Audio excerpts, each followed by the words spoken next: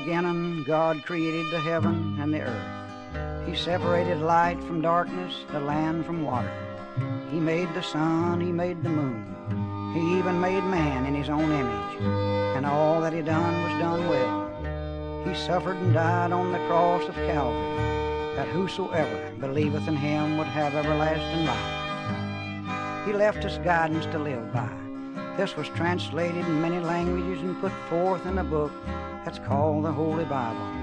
I want to read and learn all about this book that I can.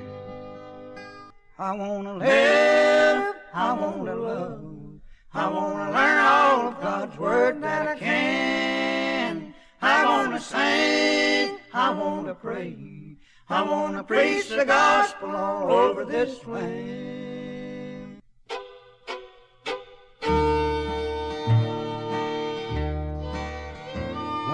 Is my shepherd, I shall not want. He maketh me to lie down in green pastures. He leadeth me beside the still waters.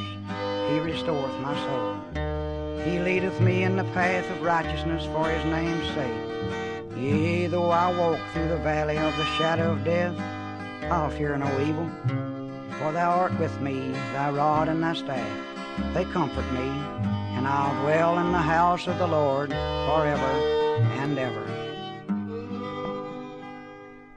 I want to live, I want to love, I want to learn all of God's Word that I can. I want to sing, I want to pray, I want to preach the gospel all over this land.